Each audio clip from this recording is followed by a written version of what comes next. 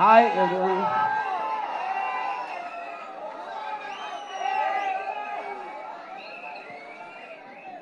నేను ఒక ఒక విషయం చెప్పాలి. ఇప్పుడు నేను వేదిక మీద ఉన్న పెద్దలు ఎవరిని కలవటానికి వాళ్ళని నమస్కరించడానికి రాలేదు. నేను ఎన్టీఆర్ గారి శత జయంతిలో పాల్గొనడానికి కూడా రాలేదు. నేను మీకు ఒక కేవలం ఒక జోక్ చెప్పడానికి వచ్చాను. ఆ జోకు చాలా సీరియస్ జోకు. ఎవ్వరూ నవ్వలేని ఆ జోకు ఇప్పుడు రాజమండ్రిలో జరుగుతుంది. అంటే అది ఎంత పెద్ద జోక్ అంటే అది నాకు తెలిసి స్వర్గంలో ఉన్న ఎన్టీ రామారావు కూడా నవ్వాలో ఏడవాలో అర్థం కాని జోక్ అది. ఎవరైతే అంటే ఇప్పుడు హిస్టారికల్గా ఫస్ట్ రికార్డెడ్ వెన్నుపోటు అనేది జూలియస్ సీజర్ని బ్రూటస్ పొడిచాడు. కానీ అక్కడ అట్లీస్ట్ బ్రూటస్కి జూలియస్ సీజర్కి ఏమి రిలేషన్షిప్ లేదు. కేవలం ఒక నమ్మ నమ్- నమ్మారు దానివల్ల జరిగింది అది. ఇక్కడ ఒక ఇంటి మెంబరు అల్లుడు అయ్యి ఉండి అంత దారుణంగా టార్చర్స్ చేసి ఏడిపిచ్చి ఏడిపిచ్చి చంపిన తర్వాత మళ్ళీ ఆయనే వాళ్ళు ఇప్పుడు దండలేసి అసలు ఎన్టీఆర్ లాంటి వాడు లేడు అది అని చెప్పటం అనేది ఇంతకన్నా పెద్ద జోక్ ఉండటం అనేది నేనైతే ఏం లేదు ఇప్పుడు సో ఇప్పుడు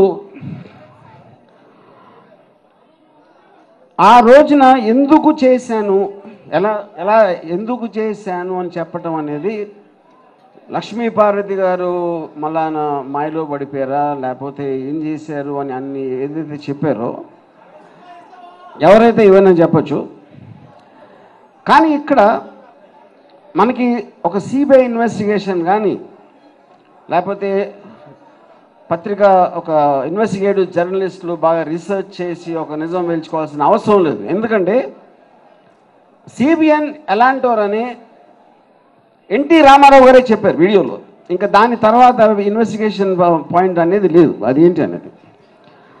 ఒక పాత సినిమా ముత్యాల ముగ్గు అనే సినిమాలో ఒక డైలాగ్ ఉంది. హిస్టరీ చింపేస్తే చిరిగిపోదు చెరిపేస్తే చెరిగిపోదని. ఆ టైంలో వచ్చినప్పుడు నాకు అది అర్థం కాలేదు ఆ డైలాగ్ ఏంటనేది. కానీ ఇన్ని సంవత్సరాల తర్వాత ఫస్ట్ టైం అర్థమైందంటే యూట్యూబ్ని ప్రెడిక్ట్ చేశారు. ఇప్పుడు గోవెల్స్ అనేవాడు సెకండ్ వరల్డ్ వార్లో జనాలకి చాలా షార్ట్ మెమరీ ఉంటుంది. పబ్లిక్ మెమరీ షార్ట్ అనేది ఒక వినికిడిలో ఉంది. కానీ ఇవాళ అది కరెక్ట్ కాదు. ఎందుకంటే ఎవరు ఏం చెప్పినా అది రికార్డులో ఉంటుంది. అది అవసరమైనప్పుడు సందర్భం వచ్చినప్పుడు బయటకు వస్తూనే ఉంటుంది. సో ఐ థింక్ దాని గురించి ప్రూవ్ చేయాల్సిన ఆస్పెక్ట్ కానీ అవసరం కానీ లేదు. అప్పుడు ఆయన పోయే టైంలో ఆయనకి సేవలు చేసి ఆ లాస్ట్ ఏజ్లో అంతా ఆయన ఒక చక్రవర్తి మహారాజు లాగా పుట్టి ఆయనకు సేవ చేసిన లక్ష్మీ పార్వతి గారు అసలు అక్కడ లేరు అక్కడ. వాళ్ళ ఉద్దేశంలో ఆవిడకి ఉనికి కానీ ఎగ్జిస్టెన్స్ కానీ లేదు. ఆవిడ మీద ఉన్న అపవాదులు అవి ఇంకా పక్కన పెట్టండి. వాళ్ళే చంపేసి రక్తం దుడుచుకుని వచ్చి ఇప్పుడు అభిషేకాలు చేయటం అనేది అగైన్ ఇందాక నేను చెప్పినట్టు దిస్ బిగ్గెస్ట్ జోక్ ఇంకపోతే ఒక చాలా ముఖ్య ఉద్దేశం చాలామంది పెద్దలు అది గమనించట్లేదు. ఒకవేళ ఎన్టీఆర్ మాయలో లక్ష్మీపార్వతి గారు మాయలో ఎన్టీఆర్ పడ్డారు అని అనుకుంటే ఒక నిమిషం. అంటే ఆయనకు బుర్ర లేదనే? అంతే కదా మీరు చెప్పేది? ఇప్పుడు అంత అంత సీఎం లెవెల్కి అంత పెద్ద మనిషి అయ్యి ఆయనకి బుర్ర లేకుండా లక్ష్మీపార్వతి గారు లాంటి ఒక అర్హత లేని ఆవిడతో మీరు మాయలో పడిపోయి ఉంటే అలాంటప్పుడు అసలు మీరు ఇంకా ఎందుకు పూజిస్తున్నారు? ఎందుకు ఆయన ఫోటోలు పెడుతున్నారు? ఎందుకు దండలేస్తున్నారు అప్పుడు అట్లీస్ట్ దాని మీద మీరు నిలబడాలి. మీరు ఏదైతే చెప్తున్నారో దాని మీద నిలబడాలి. అది లేదు. నెక్స్ట్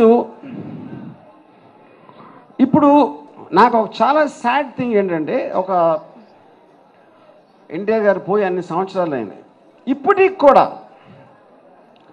ఈ రోజు కూడా ఎంతో కొంత అంటే అస్సలు నిందితులు ఎవరైతే ఉన్నారో వాళ్ళు మనందరికీ తెలుసు. నేను చాలా ఫీల్ అయింది. ఇప్పుడు రజనీకాంత్ గారు ఆయన కూడా సూపర్ స్టార్ ఆయన అక్కడి నుంచి వచ్చి ఇక్కడ ఆయన తోటి సూపర్ స్టార్ ఎన్టీఆర్ని చేసిన వాళ్ళ దగ్గర పక్కన కూర్చుని వాళ్ళని పొగట్టం అనేది అది అది ఒక విధంగా ఇండైరెక్ట్గా ఆయన కూడా వెన్నుపోటు పొడుస్తున్నట్టే నా ఫీలింగ్ సో ఇది అది అది ఎవరి మాయలో ఎవరు పడతారు ఎందుకు పడతారు అనేది అది చాలా కాంప్లికేటెడ్ క్వశ్చన్ అది. ఇంకోటి నాకు తను ఎందుకు రాలేదు ఏంటి అనేది నాకు డైరెక్ట్గా తెలీదు.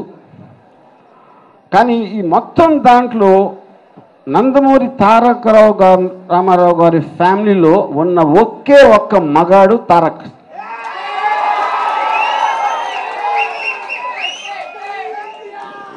ఎందుకంటే అంత పెద్ద సూపర్ స్టార్ కొడుకులు కానీ వాళ్ళు ఎవ్వరు కానీ అసలు అందరూ ఎక్కడ లేకుండా చేసి దీని ఒక్కడే హీ టుక్ ఎ స్టాండ్ అది హండ్రెడ్ పర్సెంట్ తను ఏ కారణం అని తను చెప్పినా చెప్పకపోయినా నా ఫీలింగ్ మాత్రం తన తాతగారి మీద ఉన్న విపరీతమైన గౌరవంతో వీళ్ళతో పాటు కలిసి స్టేజ్ మీద కనిపించకూడదని తను రాలేదని నా నమ్మకం.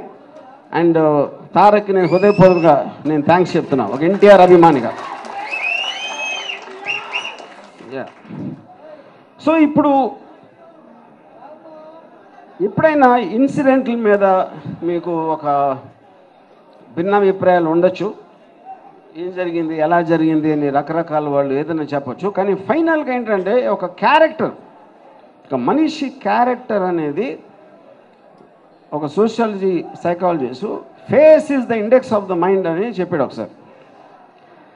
అదేంటంటే ఒక ఒక చిన్న బై ట్రాక్ చెప్తాను. ఇప్పుడు జంతువుల్లో పులి ఉంటుంది సింహం ఉంటుంది లేకపోతే ఏనుగు ఉంటుంది. ఇవన్నీ కూడా చాలా బలమైన జంతువులు. అది ఏదైనా చేస్తే మనం చంపేయడానికి వాళ్ళకి ఉన్నంత పవర్ ఉంటుంది. కానీ ఈ సైకలాజికల్గా మనం ఎక్కువగా భయపడేది దేనికంటే ఒక మొసలి ఒక పాము అలాంటి జంతువులకి ఎక్కువ భయపడతాం. ఎందుకంటే అయ్యేమో పిల్లల్ని కొంచెం చేరదేస్తే ఎఫెక్షన్ చూపెడతాయి ఎంతో కొంత. ఈ జంతువులు అవి చూపెట్టవు. మొసలి పాము ఒక మెయిన్ థింగ్ ఏంటంటే కండార్పోయి. ఆ కన్నార్పని మూడో జీవి నేను చూసింది చంద్రబాబు నాయుడు గారు. అదేదో ఒక ఒక ఇండికేషన్ ఆస్పెక్ట్లో ఆల్మోస్ట్ దేవుడు తయారు చేసినప్పుడు డిజైన్ చేసి చేస్తాడా అనే ఒక అనుమానం వచ్చేస్తుంది. సో బేసిక్లీ యాజ్ ముగించే ముందు నా లాస్ట్ పాయింట్ ఇదే క్యారెక్టర్ ఆస్పెక్ట్లో నేను చెప్పేది ఒకటి. నేను తీసే వ్యూహం సినిమాలో ఫస్ట్ టైం మీరు చంద్రబాబు నాయుడు గారి క్యారెక్టర్ని అరటిపండు ఒలిచినట్టు పెట్టి అందరి నోట్లో పెడతా ఆ తీయదనం మీరు బాగా అనుభవించండి. Thank you